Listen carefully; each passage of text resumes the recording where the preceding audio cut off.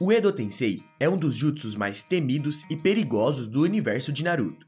E prova disso foi quando Kabuto conseguiu trazer ao campo de batalhas centenas de ninjas ultra poderosos utilizando esta técnica. Mesmo assim, vários ninjas muito fortes acabaram ficando de fora desse evento.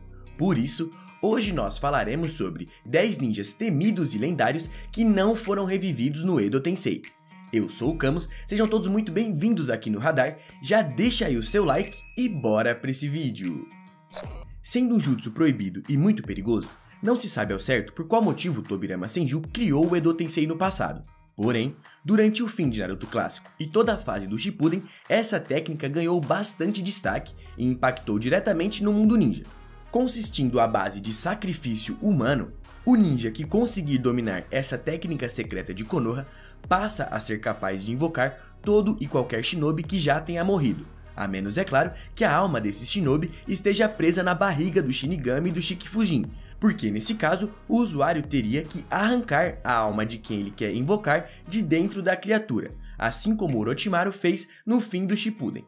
Então, tendo todos os ingredientes dessa receita, o ninja que executa essa técnica deverá posicionar o sacrifício ainda vivo no centro de um selo desenhado no chão e depois disso acontece uma espécie de troca equivalente, onde o corpo do ninja invocado passa a trocar de lugar com o corpo do sacrifício assim completando essa técnica proibida.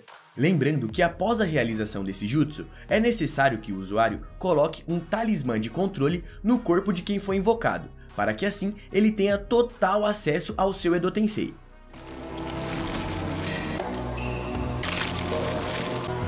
Esse feitiço que ele implantou em seus crânios absorve sua vontade própria e os transforma em suas marionetes aparecendo no anime algumas vezes, sendo utilizado pelo Orochimaru e principalmente pelo Kabuto, que conseguiu aperfeiçoar essa técnica, o bom desse tipo de jutsu no anime é que de uma maneira bem interessante, podemos ver vários ninjas lendários do passado mostrando as suas habilidades no presente, como por exemplo o terceiro Haikage, que sempre foi tido como um ninja muito poderoso e só no Edo Tensei podemos ver melhor quais eram as suas habilidades ou também o próprio segundo Hokage, Tobirama Senju, que com certeza foi o Hokage que menos ganhou destaque no anime, mas pelo menos quando teve Edo Tensei, deu pra ver ele lutar.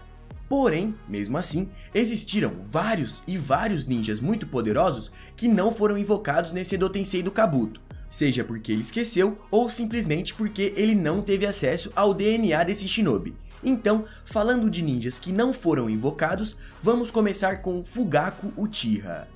Sendo simplesmente o pai do Itachi e do Sasuke, e também o líder do clã Uchiha na Vila da Folha, é bem provável que o Kabuto tenha esquecido de trazer o Fugaku com o Edo Tensei, pois, se observar, devido ao fato do Uchiha ter sido derrotado pelo Itachi durante o massacre do clã Uchiha, é quase certeza que o corpo do Fugaku esteja presente na Vila da Folha, Logo, Kabuto sabia onde poderia encontrar o DNA do Fugaku, porém, mesmo assim, ele não quis. E por ser um dos poucos Uchiha que tinha posse do Mangekyo Sharingan, com certeza Fugaku teria sido uma pedra no sapato da Aliança Shinobi se tivesse participado da Quarta Grande Guerra Ninja.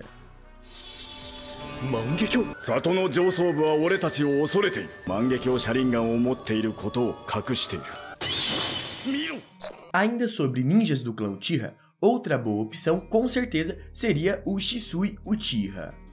Sendo um dos maiores prodígios de sua geração e um dos maiores usuários de Genjutsu do mundo ninja, Shisui foi com certeza um shinobi muito temido e respeitado dentro da Vila da Folha. E se fosse invocado pelo Dotensei, certamente ele teria varrido o campo de batalhas. Porém, diferente do Fugaku, onde até podemos especular onde está o seu corpo, infelizmente o DNA do Shisui foi completamente perdido, já que, se formos analisar como que foi sua morte, na ocasião, Shisui tinha acabado de ser traído pelo Danzo, e a guerra dos Uchiha contra os líderes da Vila da Folha estava prestes a eclodir. Assim, isolado, Shisui acaba se jogando de um penhasco e nunca mais o seu corpo foi visto, sem tirar que o Sharingan do Shisui que estava com Danzo foi destruído pelo mesmo e o que estava com Itachi também. Logo, não existe mais DNA do Shisui no mundo ninja.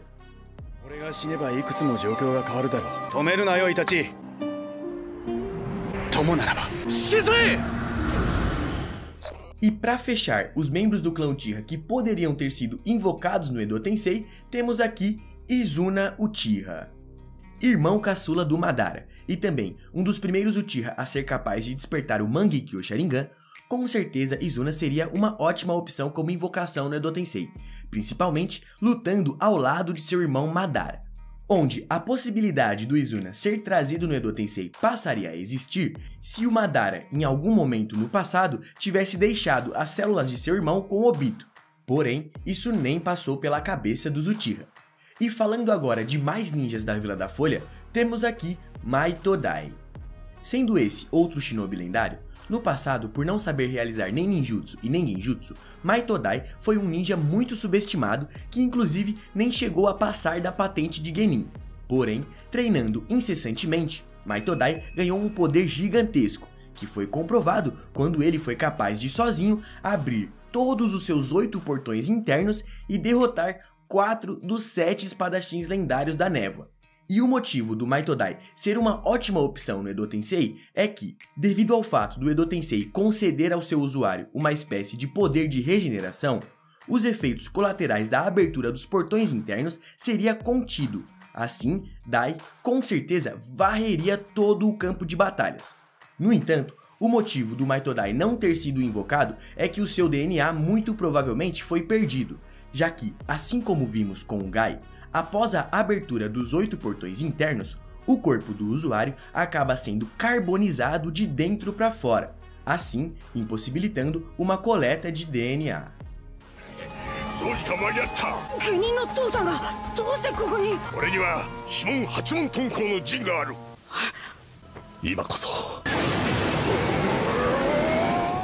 Seguindo o exemplo do Maitodai, temos também Sakumo Hataki.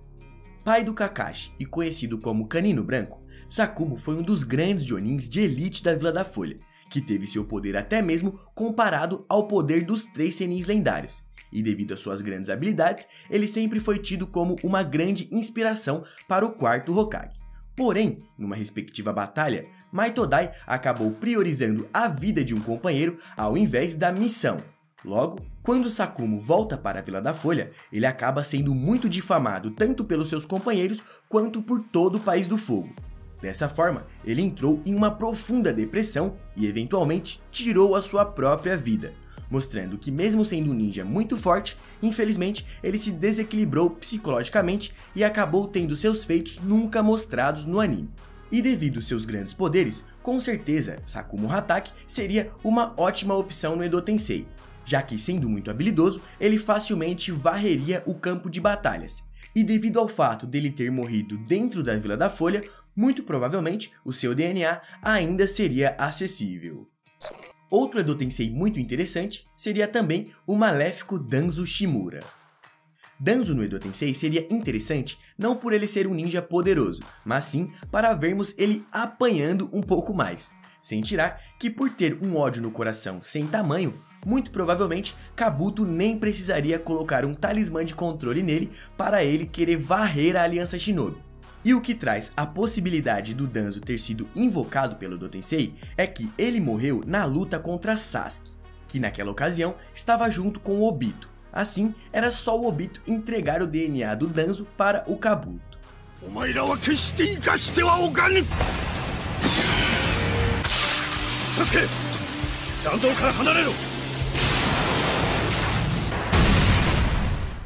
E para fechar os ninjas da Vila da Folha, não podemos nos esquecer do lendário Jiraiya. Sendo esse com certeza o ninja que a galera mais queria ter visto no Edo Tensei, Jiraiya causaria na Quarta Guerra Ninja se tivesse sido revivido, pois além de ser um ninja muito poderoso, um reencontro do Naruto com o Jiraiya em algum momento desse conflito seria simplesmente épico. Porém, infelizmente, o Jiraiya não foi revivido pelo Edo Tensei, e o motivo disso é bem interessante, já que Após a luta épica que o Senin travou contra os Seis Caminhos de Pen, infelizmente ele acabou sendo derrotado, e assim o seu corpo acabou se perdendo nas profundezas das águas de Amegakuri. Mas vale citar que existe um clone do Jiraiya hoje no universo de Boruto, chamado Kashin Koji, sendo esse um clone criado pelo cientista Amado e a existência desse clone acaba nos gerando a dúvida: onde será que o Amado conseguiu o DNA do Jiraiya para realizar essa experiência?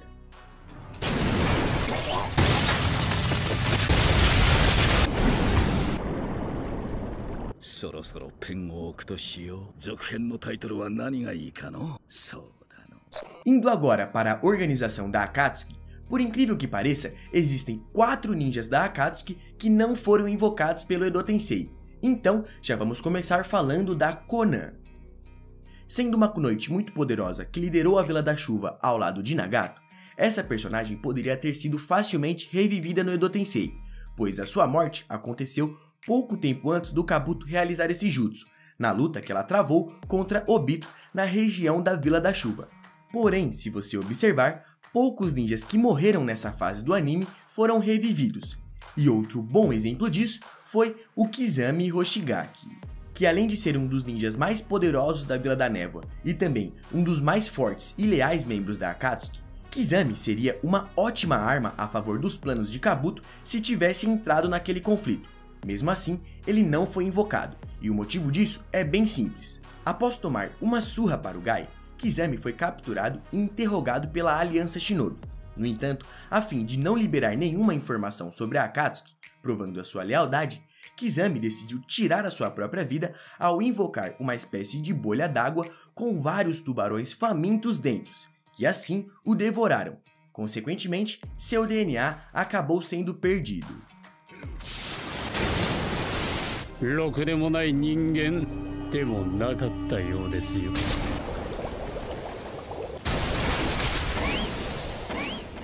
Outro ninja da Akatsuki que também não foi invocado pelo Edo Tensei foi o ex-parceiro do Itachi, Juzu Biwa, que sendo um dos sete espadachins lendários da névoa, portador da Kubi Kiribusho, quando os sete espadachins da névoa foram invocados pelo Edo Tensei, Zabuza estava em seu lugar. E o último e mais interessante membro da Akatsuki que não foi invocado pelo Edo Tensei foi o Hidan. Isso mesmo, Hidan não foi invocado pelo Edo Tensei, pois conforme vimos no anime, ele realmente foi trazido para o campo de batalhas pelo Kabuto. Porém, diferente de todos os outros ninjas invocados, no caso do Hidan, Kabuto não utilizou a técnica do Edo Tensei para revivê-lo. Em vez disso, ele utilizou uma técnica exclusiva de clonagem que ele desenvolveu utilizando as células do Orochimaru.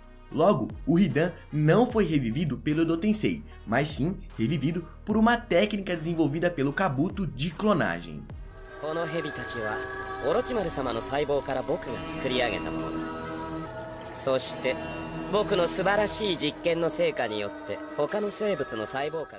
E eu gostaria de saber, qual outro ninja lendário e temido você gostaria de ter visto sendo invocado pelo Edo Deixe aí nos comentários. Não se esqueça de deixar o seu like se você gostou desse vídeo e também clicar em uma dessas opções que estão aparecendo aí na sua tela para conferir mais o nosso conteúdo, beleza? Por aqui eu vou indo nessa, até a próxima e fui!